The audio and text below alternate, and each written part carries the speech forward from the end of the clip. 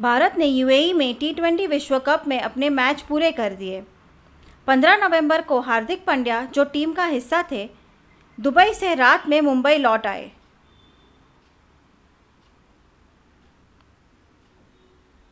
समाचार agency ANI की एक रिपोर्ट में कहा गया है कि सीमा शुल्क विभाग ने पाँच करोड़ रुपए की दो घड़ियाँ जब्त की।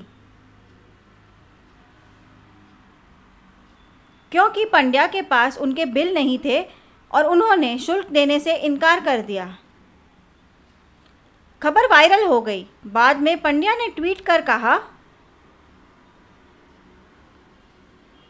खबर मनगढ़ंत है।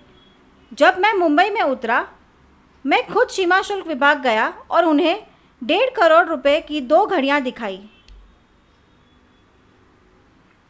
वे पाँच करोड़ रुपए की नहीं है और मैं खुद उनके पास गया था।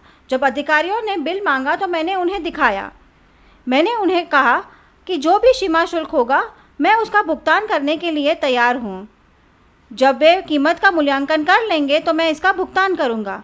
मैं देश का कानून का पालन करने वाला नागरिक हूँ और मुझे अपने देश से प्यार है, खबर निराधार है। उन्होंने जो भी वैध दस्तावेज़ चाहिए मैं उन्हें उपलब्ध कराऊँगा और उनके साथ पूरा सहयोग करूँगा।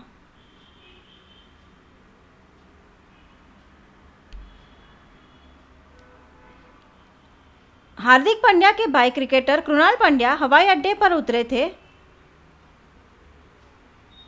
उसने सोना खरीदा था, लेकिन उसके लिए कोई भी बिल नहीं था। इसके बाद मामला सुलझा दिया गया।